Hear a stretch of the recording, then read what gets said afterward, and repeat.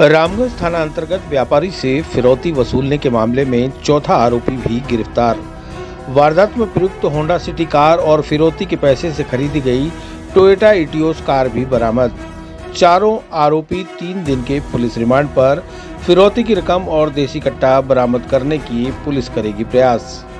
रामगंज थाना अंतर्गत पिछले दिनों सोमलपुर में प्लास्टिक फैक्ट्री उद्यमी पर पिस्तौल तान कर अपहरण करके 20 लाख रुपए की फिरौती वसूलने के मामले में इस पूरे षड्यंत्र में शामिल एक और आरोपी को पुलिस ने गिरफ़्तार कर लिया है। रामगंज थाना प्रभारी रविंद्र सिंह खींची ने बताया कि मामले में सोमलपुर निवासी टोनी उर्फ़ चमन चीता पुत्र खुमा चीता को गिरफ़्तार किया गया है। टोनी के खिलाफ पूर्व में भी किडनैपिंग का एक मुकदमा दर्ज है। उससे पूछताछ के बाद पहले से ही गिरफ़्तार आरोपी सोमलपुर निवासी कुका उर्फ़ सलमान, सोमलपुर निवासी साजन और ब्यावर निवासी फिरोज को अदालत में पेश किया गया। अदालत ने चारों आरोपियों को तीन दिन के पुलिस रिमांड पर सौंप दिया। रिमांड के दौरान चारों से पुलिस 20 लाख रुपए की फिरौती में वसूली गई रकम और पिस्टल बरामद करने के प्रयास करेगी। खींची ने बताया कि फैक्ट्री मालिक नरेश मनकानी को किडनैप करने से पहले टोनी उर्फ़ चमन ने ही फ़ोन किया था।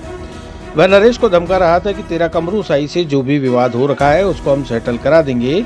उसके लिए पैसा देना पड़ेगा, नहीं देने पर तुझे बहुत भारी पड़ेगा। मैं और कुका तेरे पास आ रहे हैं, तू सोच ले, हमें क्या देगा। उसके कुछ देर बाद जब नरेश की फैक्ट्री पर कुका पहुँचा तो वह होंडा सिटी कार में अकेला था। सीआई खींची ने बताया कि आरोपित कुका को जब दिल्ली से गिरफ़्तार किया गया था, तब उसके पास से एटीओस कार बरामद हुई थी। वह कार उसने फिरौती के 20 लाख रुपए में से खरीदना बताया है। आज उसी की निशानदेही से ग्राम हरराजपुरा से अपहरण की वारदात में प्रयुक्त होंडा सिटी कार को भी बरामद किया गया है, जिसे वह फ़िलहाल उसके परिचित रसूल की होना बता रहा है। इस मामले में जाँच जारी है।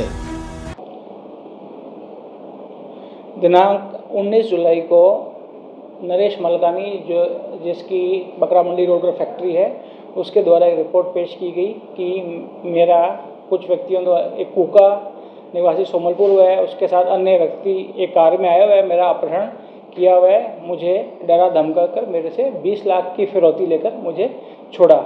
उक्त संदर्भ में थाने आजा प्रकरण दर्ज हुआ था, जिसमें पूर्व में सलमान उर्फ़ कुका, फिरोज काठात व साजन को गिरफ़्तार किया गया था। उसी क्रम में टोनी उर्फ़ चमन को भी गिरफ़्तार किया गया है, जो कि षड्यंत्र में शामिल था। इनके द्वारा जो 20 लाख की फिरौती वसूल की गई थी, उस फिरौती से इनके द्वारा एक एटियोस कार खरीदी गई थी, जो भी इनके कब्जे से अभी तक जब्त की गई है। वह घटना में प्रयुक्त तो होंडा सिटी कार को भी पुलिस द्वारा जब्त किया गया है।